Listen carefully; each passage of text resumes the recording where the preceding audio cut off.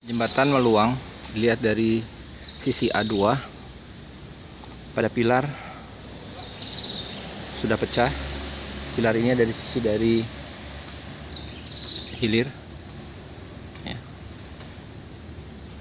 Pada berbeda dengan kondisi di A1 di mana pada bagian sayap nampak ada penurunan dari sayap abutment tapi tidak terjadi pada bagian A2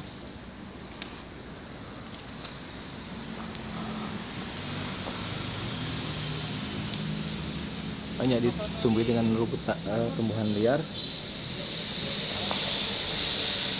Ada kedua sisi.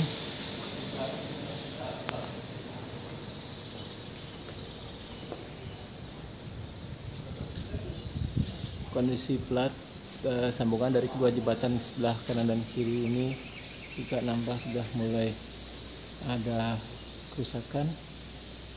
Sambungannya tulangannya nampak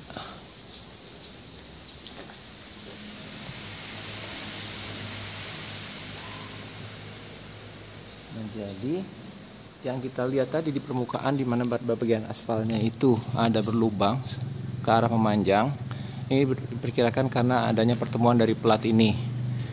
Ya, pertemuan dari kedua plat jembatan ini.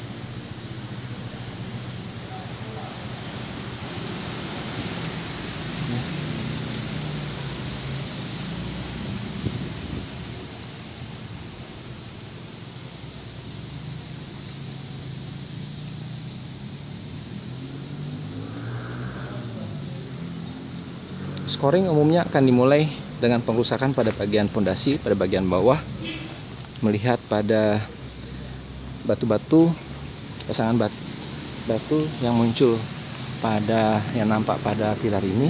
Pada bagian bawah nampak memang eh, ada pengikisan, namun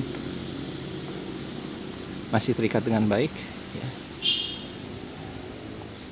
Jika memang terjadi pengikisan, atau scoring maka scoring itu akan terjadi pada mengarah dari sisi hulu ke sisi hilir. Tapi yang terjadi di sini adalah bahwa kerusakan dari pilar ini bukan pada sisi dari hulu tapi pada sisi dari hilir.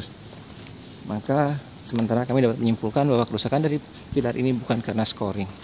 Kita akan dalamin lebih jauh nanti di kantor